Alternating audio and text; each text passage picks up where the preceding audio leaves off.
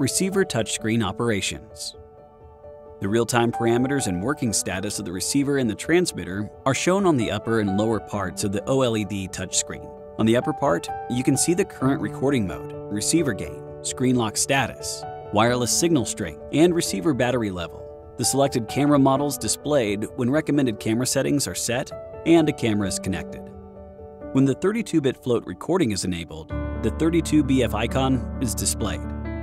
A headphone icon is displayed if a headphone is inserted to the monitor port. On the lower part, you can view the transmitter gain. Red frame on the screen means the transmitter is recording, and the absence of red frame indicates that recording has stopped. You can also see the transmitter battery level and real-time volume bars. If the bars are green, audio volume is appropriate. Yellow and red volume bars indicate that volume is slightly or too loud. When noise reduction is enabled, a noise reduction icon is shown. Swipe down from the top of the home screen to access the control menu. Tap Receiver Settings to enter the submenu.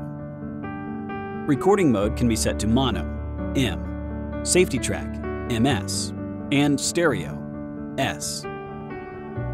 Recommended camera settings allow you to achieve a better audio experience based on the preset camera gain. Receiver gain. Move the slider to adjust the receiver gain.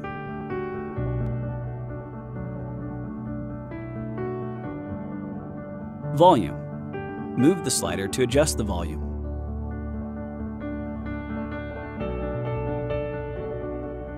Power on-off camera simultaneously. When enabled, the receiver will automatically power on and off with the camera. When connected to the camera, Receiver auto off can be enabled or disabled. When enabled, the receiver automatically shuts down after 30 minutes of no use, when not connected to the transmitter. Link device. Manually link the transmitter with the receiver based on the on-screen instructions.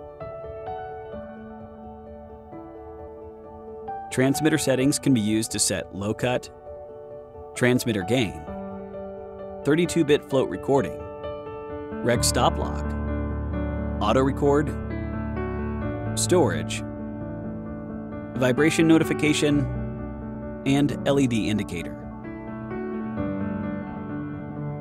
Tap the 32-bit float icon to enable the 32-bit float recording function. This feature is only supported for standalone recording use. Rec Stop Lock. Once enabled, users cannot stop the standalone recording of the transmitter via the record button. You can swipe up from the bottom edge of the home screen to stop standalone recording. Auto record. When enabled, the transmitter automatically starts recording independently as soon as it is powered on or taken out from the charging case.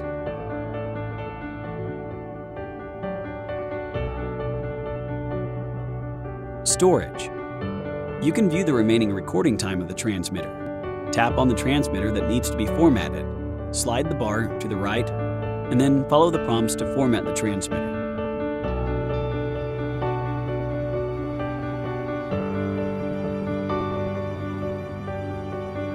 Tap Settings to set brightness, language, time, and date. You can also check the firmware version, compliance information, and reset the receiver to the default settings on this page.